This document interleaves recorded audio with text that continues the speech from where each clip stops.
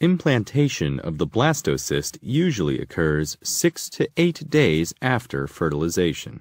By the end of day 8, the blastocyst has burrowed into the endometrium of the uterus. At this time, it is composed of two main components the outer cell mass, the trophoblast, and the inner cell mass, the embryoblast.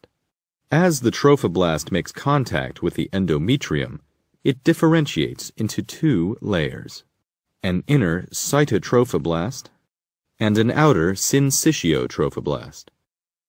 The embryoblast differentiates into a bilaminar embryonic disc composed of two cell layers, the hypoblast and the epiblast.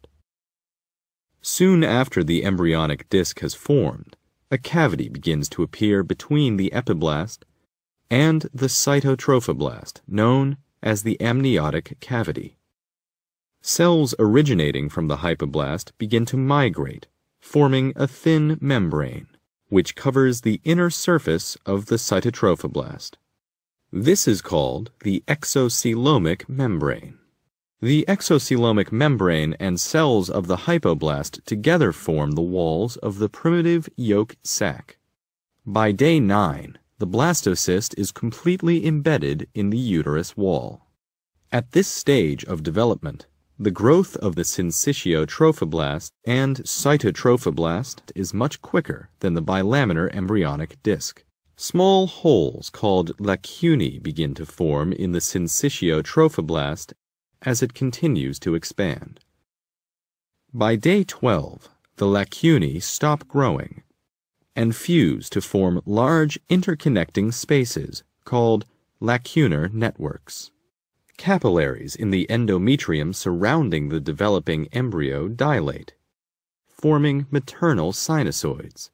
As the syncytiotrophoblast continues to expand, enzymes begin to erode the lining of the sinusoids and uterine glands, allowing maternal blood and uterine secretions to flow into the lacunar networks, establishing a uteroplacental circulation. The blood and uterine secretions only come into close proximity to the embryo, allowing the exchange of gases and metabolites. Around the same time, a new population of cells appear between the inner surface of the cytotrophoblast and the outer surface of the primitive yolk sac known as the extraembryonic mesoderm. Large cavities begin to appear in the extraembryonic mesoderm. These gradually fuse to form one single cavity, called the chorionic cavity. Around 13 days after fertilization, a large portion of the exocoelomic cavity is pinched off, forming a smaller cavity, the secondary yolk sac. By the end of the second week of development, the chorionic cavity enlarges, and the bilaminar embryonic disc is joined to the trophoblast by a band of extraembryonic mesoderm called the connecting stalk, the future umbilical cord.